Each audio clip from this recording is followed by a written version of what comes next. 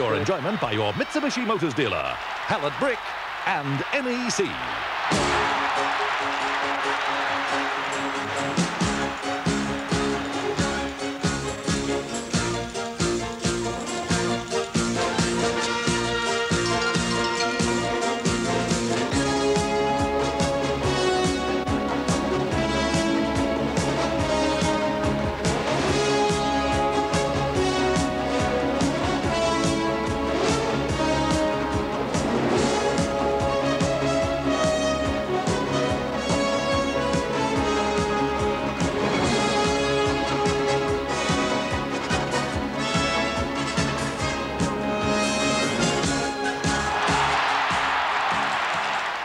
Good evening and welcome to the big replay. Well, the race for the final five has been thrown wide open once again following the conclusion today of round 12. We saw four games set down for decision and they attracted an overall crowd of just over 30,000. Our cameras today went to Prospect Oval for the clash there between North and Norwood and we also went out to Football Park, the traditional crash, clash out there between Port and Sturt. And following that game a little later tonight, we'll also be talking to coach Russell Ebert, who today celebrated 360 club games for Port Adelaide equalling that long-standing record by Sturt's Paul Bagshaw.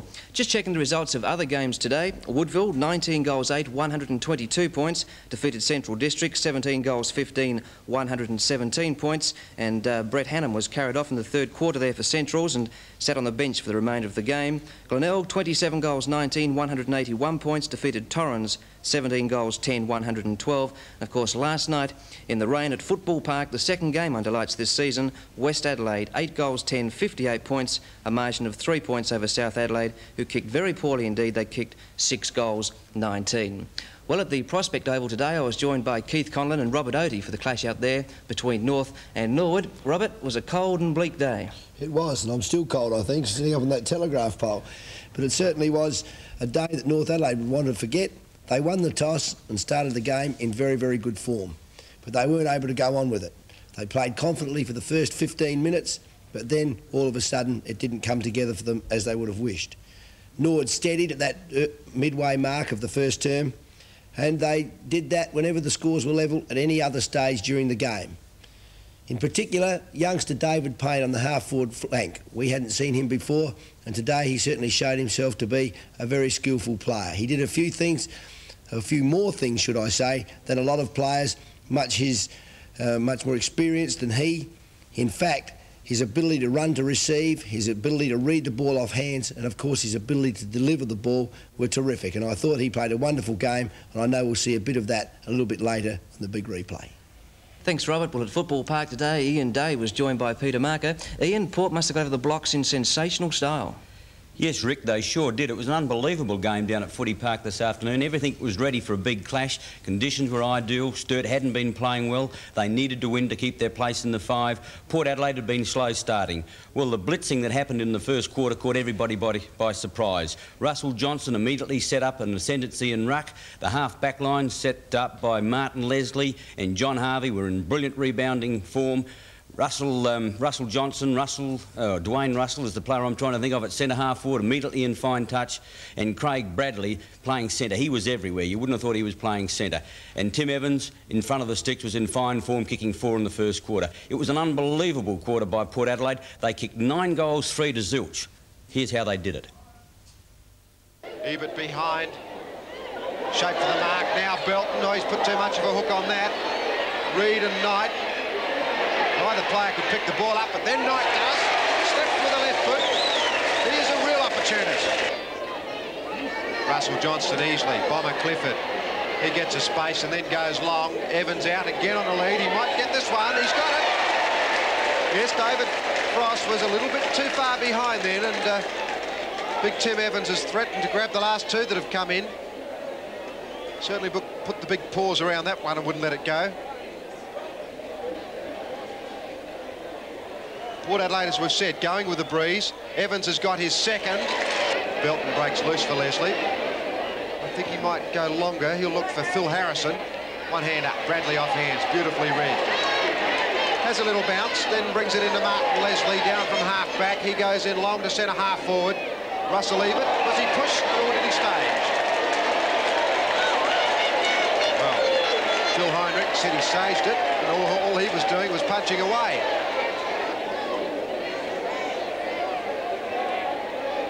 Beautiful kicker of the football, Russell Ebert. Have a look at that. Through it goes. One goal, Russell Ebert. Port Adelaide 4-1, Sturt 0. Johnson yet another tap. Bradley. Harvey.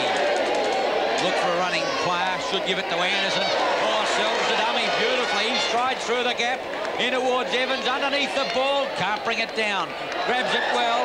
On the left leg. Dummies twist. Turns. Hooks. I think he's got his third. Brilliantly done, big fellow. Gets distance. Spiel over the top. Russell. Spiel said, I had it.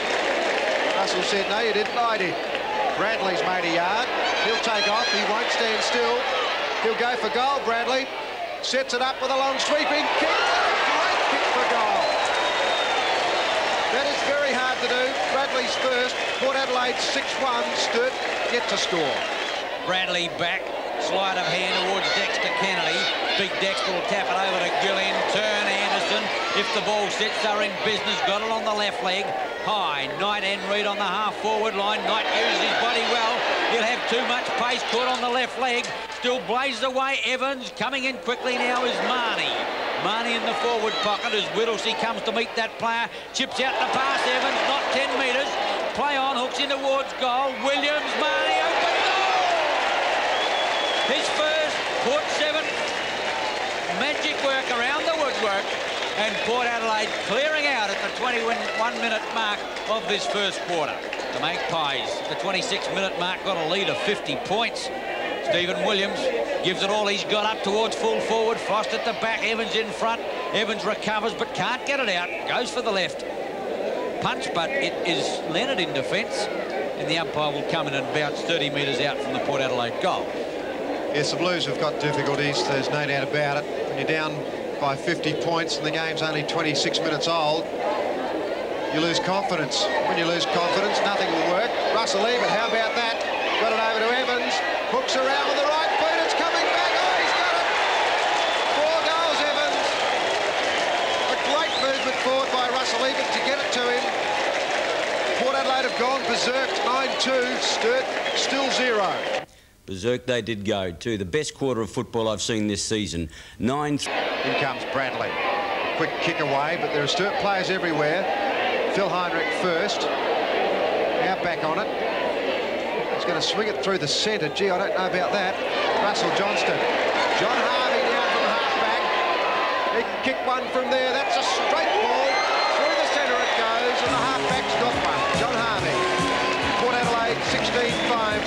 to the Blues 3-10.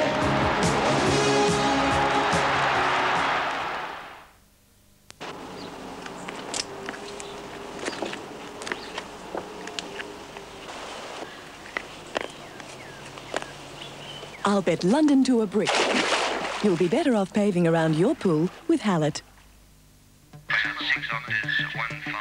Inbound traffic, squawk ident. Stand by for the Mitsubishi Turbos. The Mitsubishi Turbos, an exciting range of turbocharged vehicles for Australia. From the high-performance Starion Turbo to the adventurous four-wheel drive Pajero Turbo Diesel. And now introducing the sporty aerodynamic Cordia, Mitsubishi's newest turbo, keeping the name of Mitsubishi on top in turbo technology for Australia. It's another Mitsubishi.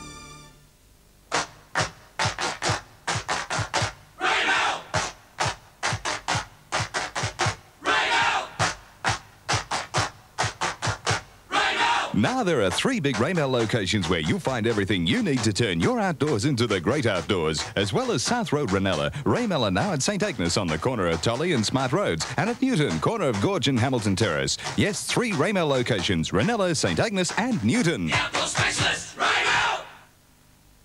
We've seen a whole lot of champions in Australia.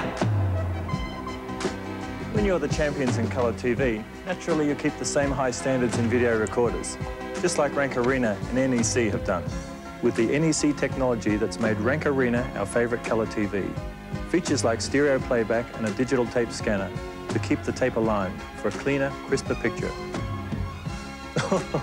Rank Arena and NEC. Gonna be a favourite video too. difference now is 74 points. Quite extraordinary. Davies will take the ruck throw in as per usual. Against Kennedy. Davies got his hands to it.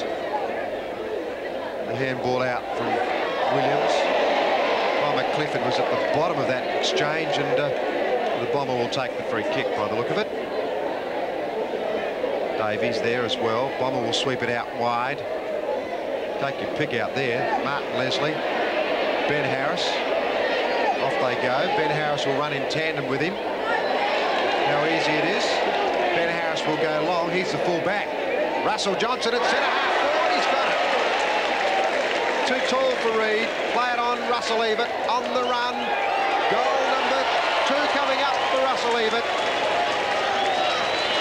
And this is a cakewalk. 17-6 the Magpies, 3-10 the Blues. Gee, Peter, how would it be if Port Adelaide could afford the luxury of resting Big Johnson in the forward pocket?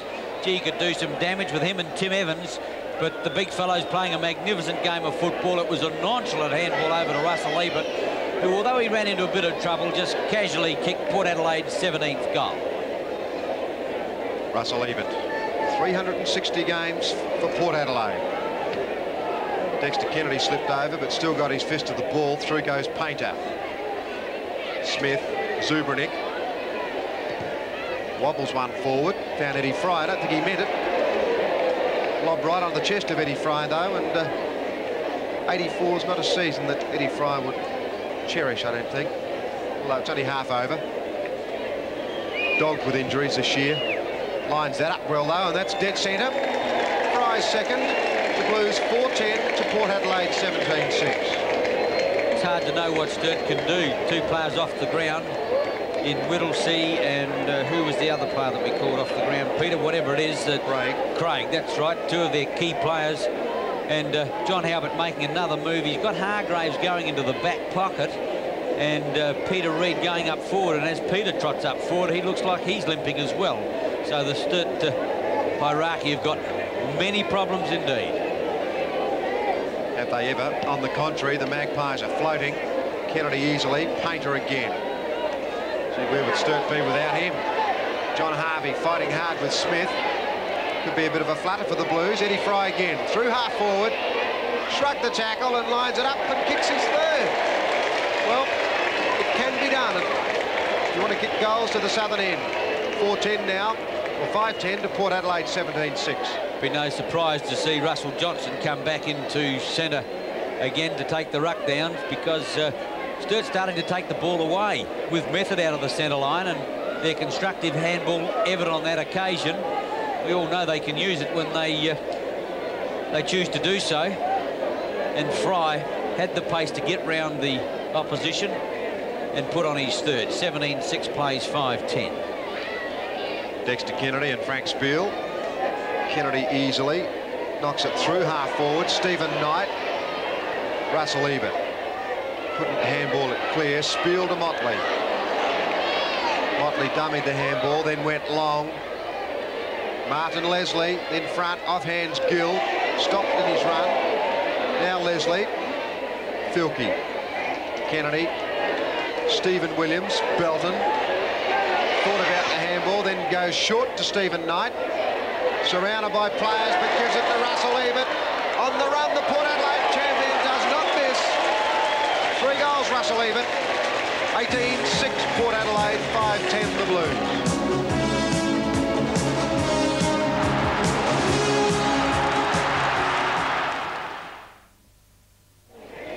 Dexter Kennedy again, getting high. Line ball in the centre. Kennedy on the rebound.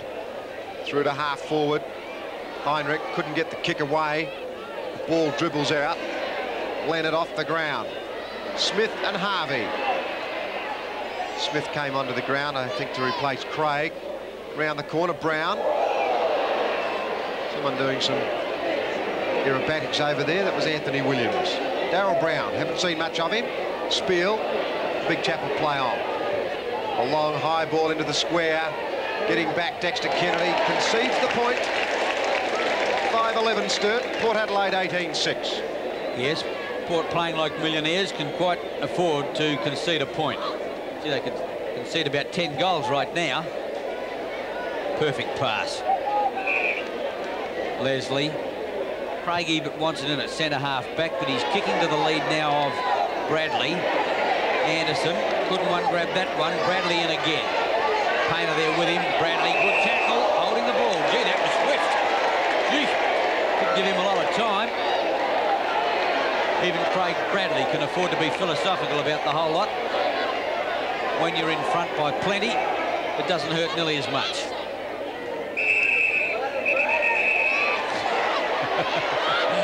Spiel anxious that Bradley stands the mark. The umpire right in it with his micrometer out to make sure that he doesn't trip over the mark. And Martin Leslie again. He must be knocked up getting kicks. Kick number 16 from a centre half back halfway halfway into time on in this third quarter is a pretty good effort. Williams and Zubrynik. Spiel and Downs and umpire Foster. Bradley looks a bit tired, but uh, he's had a pretty big day. 14 kicks, 13 handballs. So uh, he's done plenty. He's also kicked a goal in the first quarter. Anderson. Russell Johnson comes in to lend a hand. Now Russell Ebert. Great handball to John Harvey. Don't tell me the halfback's going to kick two. That's going dead centre. Both these goals have been dead centre. Russell Ebert gave it to him.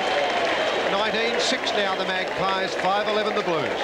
Well, John Harvey has been criticised as being in defence a stopper rather than a rebounding half-back line.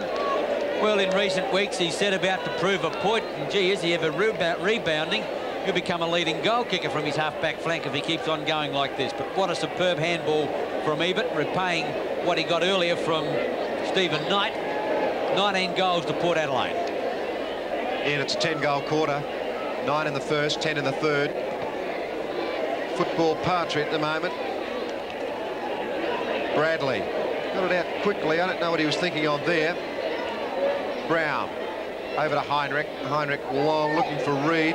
Yes, Reid is limping. And uh, a good spoil away there by Anthony Williams. Out of bounds on the outer side, almost 30 minutes gone. Port Adelaide by 79 points. Sturt physically and mentally in complete disarray. Leslie again. Harrison, the running player is Williams. A long kick to the half-forward line. Up goes Heinrich. Misses completely with the back of the pack. Getting back on it is Phil Heinrich. He's taken care of. Hasn't got the football. And the Port Adelaide supporters even begrudge the free kick when they're leading by something like 80 points. Heinrich gets 15 metres to help. Out wide is Frost. It's coming out to that player. He's getting into the action. Hasn't had a lot of joy this afternoon watching Evans kick his seven goals. Gives a chance to paint. Leonard running. Downs and Fry gives lead. Downs or Fry? Fry it is. Right forward flank. Davies thought about leaving, leading. Reed goes into the pocket. Davies the lead. Siren sounds. No. Play on as the call. There's a brawl at the back. I wonder what the crowd were getting excited about. Meanwhile, play goes on. Harrison, Harvey. Out wide is Stephen Knight. Harvey's going to go it alone. He's only got one defeat. He's still bouncing the ball through the half-forward line of the outpost, and he's gone too far. I'd like to measure that. I don't reckon it was on. Excitement galore, would you believe? I've seen players run further. Heinrich through the centre wing area. Fine mark, Dexter Kennedy. Played well today, Dexter. Have all played well. Leslie to Stephen Williams. Bomber Clifford goes through the centre. Not a good kick away on that occasion. The pack forms. Stephen Knight. Everybody expects another Port Adelaide goal. Not there on this occasion. Horwood clears. Painter. Had a big day, Painter. Good kick and a good pass. Oh, Brown was off. Brown was off. Uh, even umpire Foster couldn't see that, but I'm sure he was. Motley. Drop punts it towards Dexter Kennedy. Almost picked him out. Only one hand, Dexter. Oh, a little bit technical, but uh, Derrington will get the free kick. The siren's gone. I think Derrington might have the shot. He's mad if he doesn't. Fairly academic, though, Peter. Certainly is, and uh, Coach John Halbert would be utterly and totally disgusted at the moment. Okay, he's, he's down on man, manpower, but there Hasn't been a lot of endeavour out there this afternoon, unfortunately. That won't score. So it's three-quarter time here at Football Park. Port Adelaide a superb quarter in which they blasted 10 goals too. They're 19-6 leading the Blues 5-11.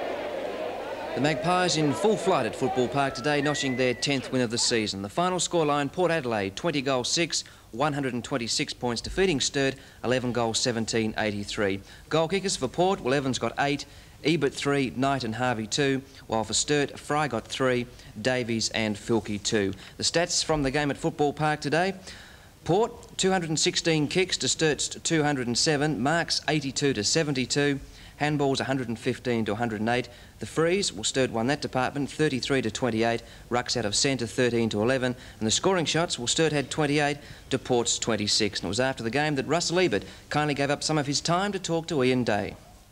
Russell, I know you're not interested in personal achievement, but congratulations, 360 games. You must be a proud man.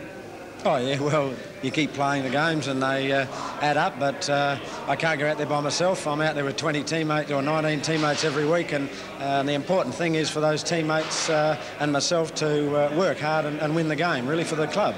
Uh, so personal achievements, they, they come, but it's a team game, and that's what it's all about. Speaking of pride, you must have been bursting in that first quarter. What a magnificent start. 9-1 to nothing in that first quarter. Have you played better? No, we haven't this year. We, we've been starting really slowly and giving sides uh, a two or three goal break uh, in most of our games. And uh, today was very important. Uh, we realised Sturt are, uh, are, a final side, and uh, this is the place where the finals are played. And I felt our lads really, really put in today. It was excellent effort. You kicked 19 goals to one end, only one goal into the breeze. Were you happy with that? Well, it was probably a five or six goal breeze, and uh, the second quarter I wasn't happy with because we tried to blast the ball and didn't run it and didn't use it. Uh, I thought our last quarter was uh, we used the ball better, but uh, we didn't have any players left. We had uh, a lot of crocky players, and so we were happy with the 10-goal lead and to bottle it up. You lost Dwayne Russell and also Russell Johnson, and Stephen Curtis was limping. Mm. Have you heard the news on those players? Uh, Jono uh, just uh, twigged his knee a little bit and uh, Dwayne uh, uh, jarred his shoulder. Stephen Curtis just rolled his ankle over, so they'll, they'll be right for training in the morning. Overall? No, they won't. but no, we've just got to look after the injuries and see how they come up. Russell, overall, then, you're quite happy with Port Adelaide's performance going from strength to strength? Oh, well, uh, Sturt uh, on a bit of a downer, and then they won last week here and uh, they're a dangerous side. And uh, it was a, another danger game for us today, and, and we've got through it. So uh, it's a pleasing effort when the team wins. Yeah, your defence is holding up magnificently. Now, this is the third full-back you've tried in recent weeks, Ben Harris, and I thought he performed very well indeed.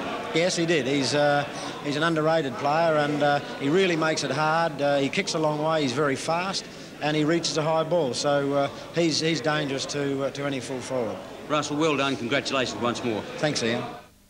Great effort there by Russell Ebert. Well, Ian, obviously it was the Magpies all day, and considering that, how would you rate their current form?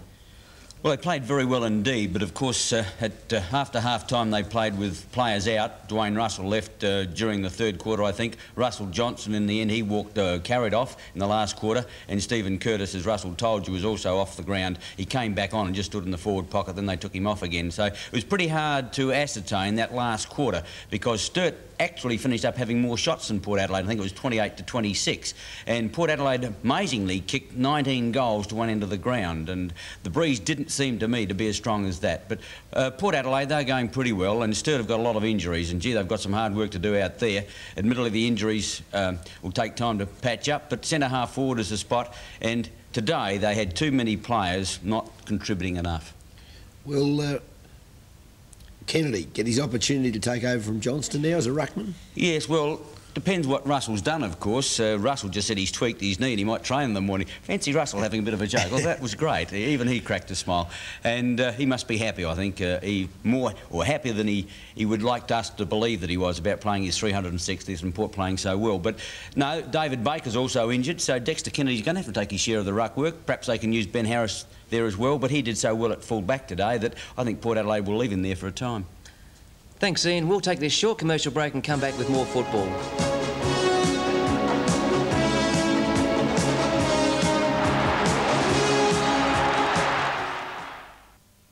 And following that easy win by Port Adelaide at Football Park today, just to wrap up proceedings, Ian, your best players. I thought Martin Leslie was outstanding. Centre half back, 19 kicks and 16 handballs. He's getting better every game I've seen him play, and I think he's going to be a fine player in the future.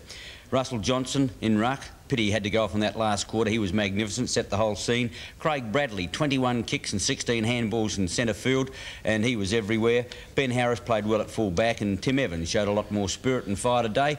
Kicked a few good snaps for shots for goal, and he kicked eight goals. He played well. For Sturt, easily Painter, 21 kicks, 16 handballs. Isn't it interesting to note that the two centremen both had 21 kicks and 16 handballs? Gone are the days of the defensive centremen, obviously. Peter Motley at centre half back had a lot of jumpers running at him all day, but did well. in the best of the others, Derrington and Phil Heinrich.